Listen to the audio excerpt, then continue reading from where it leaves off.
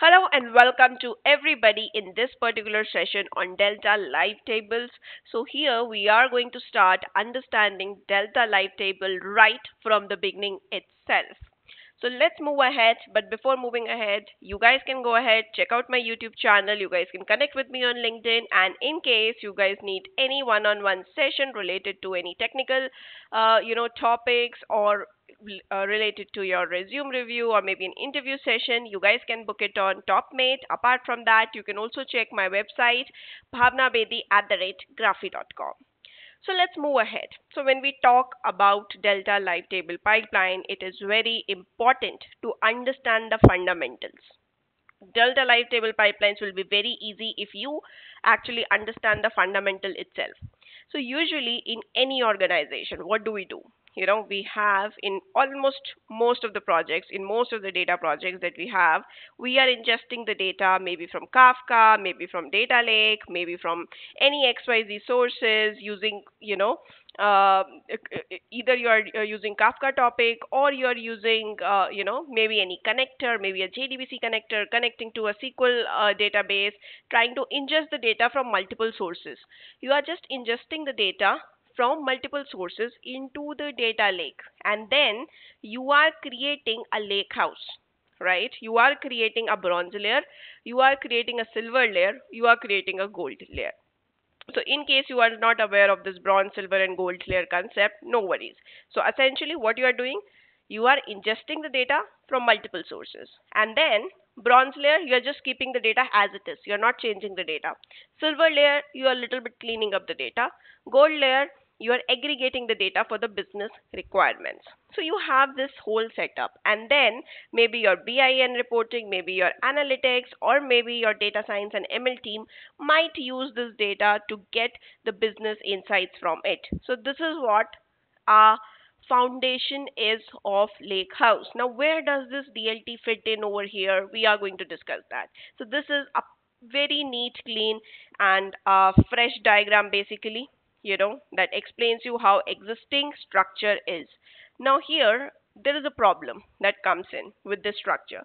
Because if if in an organization you are getting the data from multiple different sources through multiple different connectors you end up creating multiple raw layers you end up creating multiple bronze layer you end up creating multiple silver layer you end up creating multiple gold layers and then you combine those gold layers. So you can see in this particular diagram right the white database is in the middle over here. So what is happening? So you have the data source in the orange over here. One two three four and then you are creating multiple ingestion layers. Then you are creating multiple silver layers and then multiple gold layers. So there is no and in this particular structure if you see it is very complex. It ends up becoming complex in a larger organization. The data quality and the reliability both are at cost. Because here there is no hard check on the data quality right? You also face issues related to the lags right? So this becomes a little complex structure when you actually implement it in a large organization where you have multiple sources. So now what happens here whenever we are building such pipelines, right, what exactly do we do? We do version control, right? We do, we create a deployment infrastructure because whenever code is ready, we need to have a version control in place. We need to have a deployment infrastructure in place. And similarly, we also need to have data quality checks, right? You will mo mostly manually write those data quality checks and similarly you will have some kind of governance in place. You know, these might be a different plugs that you might put in in your existing infrastructure or you can use Databricks itself for the same. Now similarly, if you see backfill handling, dependency management, you know, if one pipeline is dependent on another, right? So that kind of dependency management, your data partitioning or, you know, anything related to checkpointing, you know, and similarly the data uh, data quality and as well as the performance part. Everything is just maintained by you. So you are actually whenever you are building this particular diagram what is exactly happening? Everything is being maintained by you. You are caring about the infrastructure you are caring about the deployment you are caring about the data quality checks you are caring about the backfill handling you are also checking the checkpoints right? In case you are streaming right? You have uh, checkpointing in place you also have you know the uh, performance tuning in place. Now what happens is with all of these components being managed by you what exactly happens? You are getting deviated from the main work. What is your main work? So your main work is this that is highlighted over here. So your time is actually spent in everything apart from the main thing which is curating your bronze curating your silver curating your gold layer accurately.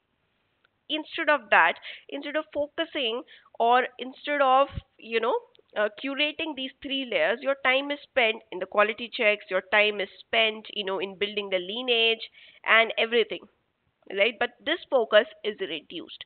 So delta live table pipelines actually helps you over here now if you see your time should actually focus on getting value from the data right? Your time should be actually focused on building the SQL queries, in building the whole piece of code, or in applying the business logics, which will create your bronze, silver, and the gold layer.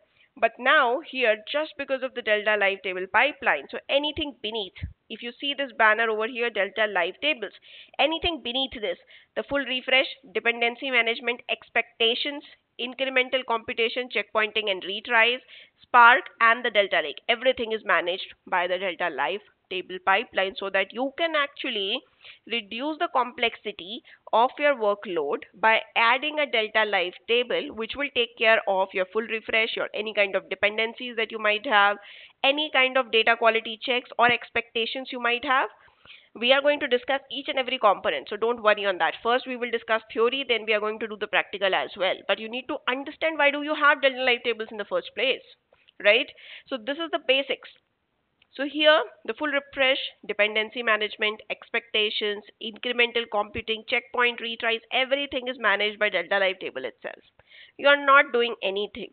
In Databricks, you just have your repos, you have your Unity catalog, you have your Databricks workflows, rest everything is managed when you create a Delta Live table pipeline. Even the performance part, if you have any lag in your data, even that is managed by the Delta Live table pipeline. So that is what Delta Live tables is all about.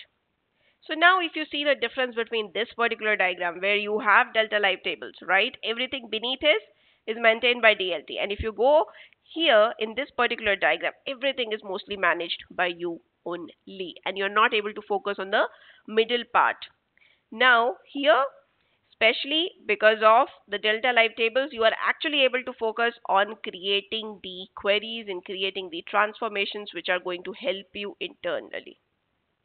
So this is the introductory and the very basic session on Delta Live tables. So stay tuned until the next session where we are going to discuss this in little more depth. So thank you so much for being till here.